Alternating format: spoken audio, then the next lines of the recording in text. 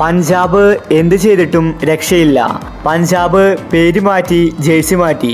എന്നിട്ടും അവർക്ക് അധോഗതി തന്നെ. പഞ്ചാബിന്റെ ഓണറാണ് പ്രീതി സിൻഡ. ഇന്ന് ലാസ്റ്റ് ഓവർ വരെ നീണ്ട മത്സരത്തിൽ പഞ്ചാബ് തോറ്റിട്ടുണ്ടായിരുന്നു. അവർ കളി ജയിക്കുമെന്നായിരുന്നു പ്രീതി സിൻഡ കരുതിയത്.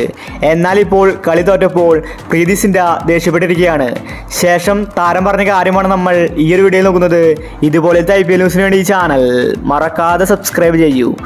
രാജസ്ഥാൻ മികച്ച വിജയമാണ് ഇന്ന് സ്വന്തമാക്കിയത്. പഞ്ചാബ് ശരിക്കും നാണം കെട്ടു. ഇന്ന് കളി തോറ്റ ശേഷം പ്രീതി സിൻഡ പറഞ്ഞത് ഇങ്ങനെയായിരുന്നു. ഇന്നത്തെ മാച്ച് ഞങ്ങൾ ജയിക്കുമെന്ന് ഉറപ്പിച്ചതായിരുന്നു. പക്ഷേ അവസാന ഓവറിലാണ് പണിയായത്.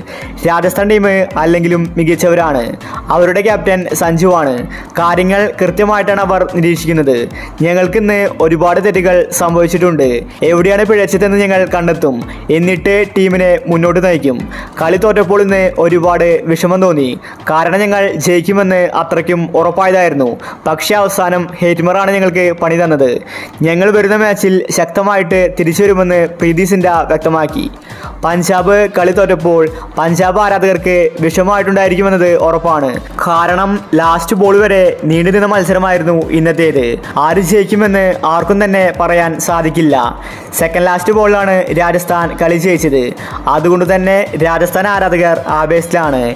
ഇപ്രാവശ്യം തൊണ്ണൂറ്റി ഒൻപത് ശതമാനവും രാജസ്ഥാൻ പ്ലേ ഓഫ് ഉറപ്പിച്ചിരിക്കുകയാണ്. സഞ്ജു മികച്ച രീതിയിലാണ് രാജസ്ഥാനെ മുന്നോട്ട് നയിക്കുന്നത്. രാജസ്ഥാൻ ഇപ്പോൾ ഇങ്ങനെ മാറിയെങ്കിൽ അതിന് ഒരു കാരണമേ ഉള്ളൂ. അത് സഞ്ജു തന്നെയാണ്. രാജസ്ഥാൻ ഇന്ന് ബാറ്റിങ്ങിലാണ് പണി കിട്ടിയത്. റിയാൻ പരാഗ് സഞ്ജുവെല്ലാം പെട്ടെന്ന് ഔട്ടായപ്പോഴാണ് രാജസ്ഥാന് പണിയായത്. എങ്കിലും ലാസ്റ്റ് ഓവറിൽ ഷിമ്രോൺ ഹെരിമാർ രാജസ്ഥാനെ മികച്ച വിജയം സമ്മാനിച്ചു. അപ്പോൾ ഇതുപോലത്തെ ഐ പി എൽ ന്യൂസിന് വേണ്ടി ഈ ചാനൽ മറക്കാതെ സബ്സ്ക്രൈബ് ചെയ്യൂ.